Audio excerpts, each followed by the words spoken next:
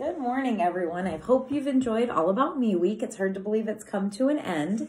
I know you've learned lots of fun things about your friends. We've gotten to enjoy some great food and make some great projects. Today, we are going to make what's called a bottle biography. So you're going to get out a water bottle and we are going to decorate this water bottle to represent us in some way. So um, I've decided I'm going to go ahead and put black bottoms on.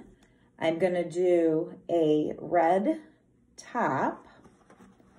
And then my kids all went to Brecksville Broadview Heights schools and I still have one there. So I've spent a lot of time at different sporting events. So I went ahead and put a B on my, um, on my shirt and I made arms by using our pipe cleaner, taking a skinny piece of felt, and then I simply glued it together and then wrapped it around the body like you see.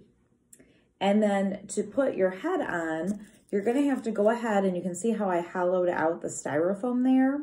So go ahead and hollow it out until it fits nicely on your water bottle. Like this one could probably use a little bit more hollowing out.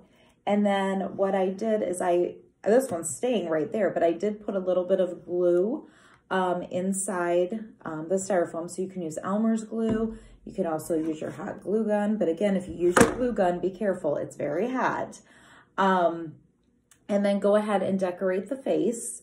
So I have already glued on my eyes. I just with Sharpie or marker made a little nose and mouth.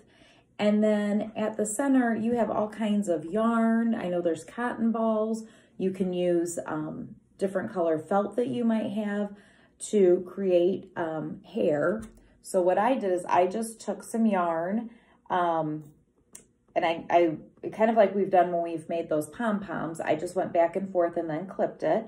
So I can simply just put a little bit of glue on this to secure the hair.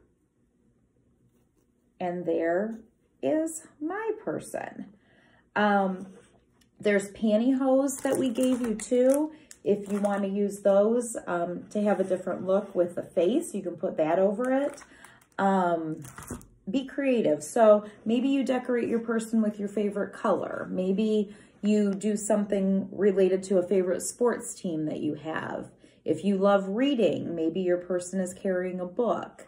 So just be real creative um, and find a way to represent you in this project. So have a great day, everybody, and have a great weekend.